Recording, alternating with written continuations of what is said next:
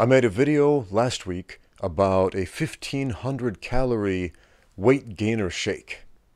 And somebody suggested putting raw eggs into this shake. Actually, a lot of people suggested that. They said, yeah, if you put a bunch of raw eggs in that, that'll add a bunch of extra protein. And they would go so far as to say raw eggs are better than cooked eggs. And there are two problems with that.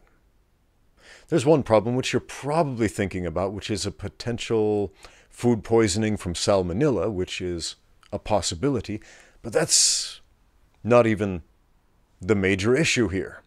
Well, I guess it could be because that could kill you. Food poisoning can actually kill you, right? But the underlying issue that you're probably not thinking about is the fact that a raw egg only gives you a fraction of the potential nutrition from the egg. Did you know we actually have to cook our food? We have to pre digest our food with cooking in order to maximize the nutritional extraction that we get from our food. Let me put that into perspective. An egg, a cooked egg, if we boil that egg, or scramble that egg, or fry that egg, has about six grams of protein that our body is able to digest and use and assimilate. But if you eat that same egg raw, you get two, maybe three tops. You get less than half the protein if you don't cook it and a lot less than half of the other nutrients. Why is it that cooking food increases the bioavailability of nutrients? If you take a raw potato, for example, and you eat that raw potato, it's going to taste like garbage. But also, it's going to exit the body in much the same form as it went in. It'll be all mushed up, it's going to smell bad, but at a molecular level, it hasn't changed because you haven't digested it. Because humans can't digest cellulose unless we cook it. So before we cook that potato, it's a bunch of undigestible starch and cellulose. But suddenly, when we apply heat, when we cook it, something magical happens.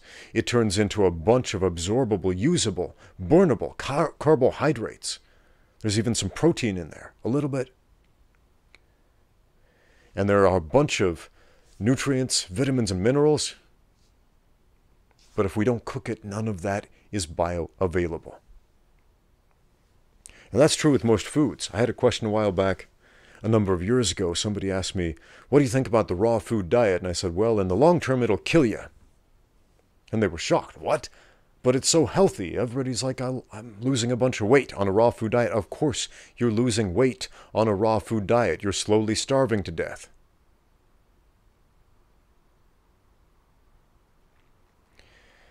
I keep seeing these well intentioned vegan memes on the internet. Bless the hearts of my vegan friends trying to save the animals. But, guys, please, please, at least make your memes, at least make your propaganda intellectually honest.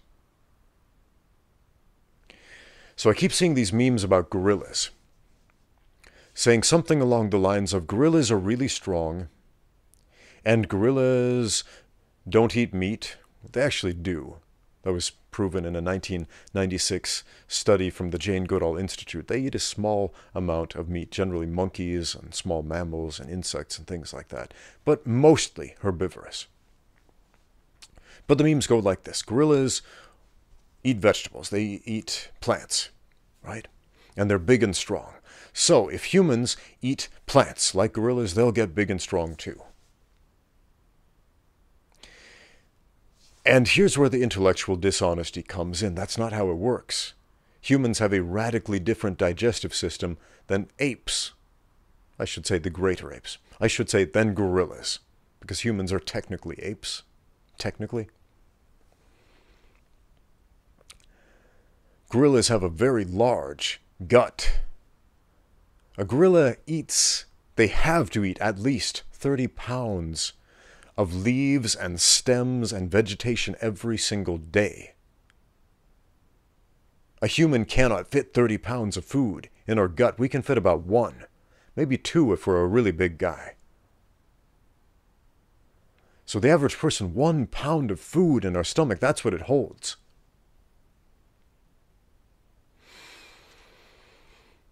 So in order to get the same nutrition as a gorilla, and we need, we actually do need about the same amount of nutrition as a gorilla gets, but we can't get it from leaves and stems and raw vegetation like they can, because their digestive system can digest leaves and stems and raw vegetation. Ours can't. We can put it in our mouth, chew it up, and swallow it, but it doesn't digest properly. It doesn't, we don't get the nutrients from it. Not like a gorilla does, not like a cow does. We can't convert the, that cellulose into protein like they do. So what do we have to do? We actually have to cook that food. We have to pre-digest it. We have to eat different things than they do.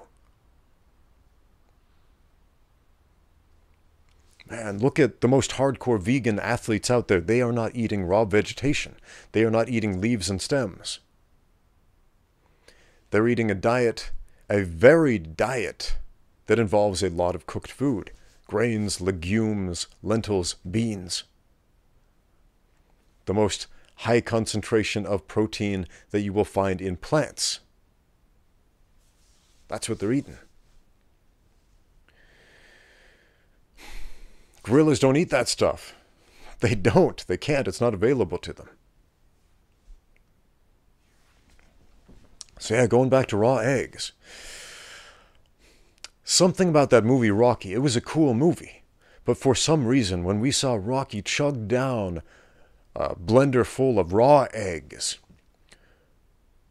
For some reason, a lot of us thought, oh, this is a documentary rather than a fictitious movie about a fictitious boxer. A lot of us thought that was real, that tough guys need to drink raw eggs. Well, guess what?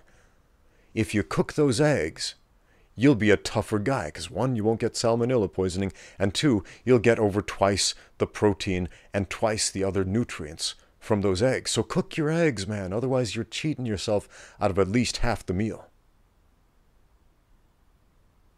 Next question.